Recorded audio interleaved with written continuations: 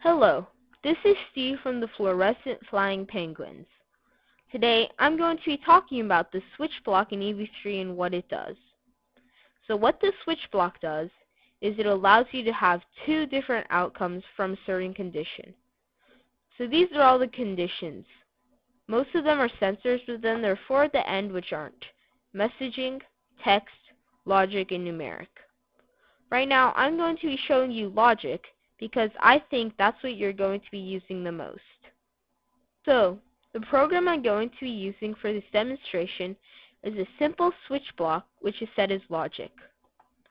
So how the logic switch block works is you can put in a true or false value or you can change it manually. So what this program does is if it has a true value it says yes, has a false value it says no. So right now it's set as true, so I'm and it's so it's going to say yes. Let me run the program. Yes. As you could hear, it said yes because the value is true. Now if I change it to false, it's going to say no. No. Let me show you something else that I think might be very handy. So what I'm going to be showing you is how to use the brick buttons measure feature. This is very useful for FLL because if you want to switch between programs in one main program, it's really easy because everything's not jumbled around. So what, how the switch block works is it reads what button is pressed. So if none of them are true, then it automatically goes to the default case. But if one of them is true, it goes to that case. So on the top left, there's something called add case. Click on it, it gives you one more case. So let me add a few more for each button.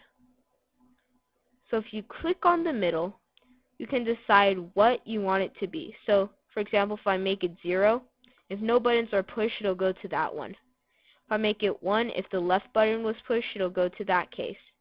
2 is the center, 3 is right, 4 is the top, and 5 is the bottom. Also, this button here, if you click on it, it makes it the default case. So right now, I'm going to show you how to make a program that changes whenever you press the button. So right now, I have a case for each possible thing for the buttons. No buttons were pushed, the left button was pushed, the middle button was pushed, the right button was pushed, the top button was pushed, or the bottom button was pushed. So, you can also put sounds in here so you know which button was pushed. So for example, this one, I can make it left. Left. Then this one, I can make it start. Start. So you could put a sound in all of them, so then you know which button was pressed, and you know if your program works. So right now, I'm going to show you a finished version of this. So whenever I push a button, it'll tell me which button was pushed. So let's run this program. So right now I'm going to press the left button. Left.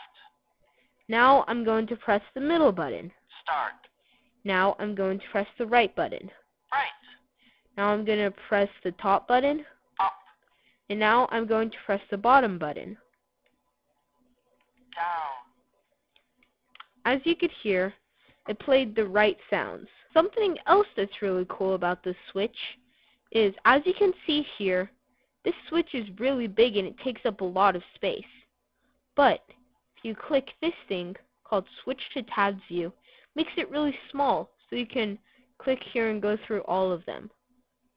Something even cooler than that is if you make, if I make this loop bigger, I can make this case I can make the switch bigger and then when it stops lagging I'll show you something really cool. So as you can see now you can see all your cases really easily you just have to click between them. So then you no longer have a huge switch that takes up a lot of space. Thank you for watching this episode of Programming with EV3. Thank you and goodbye.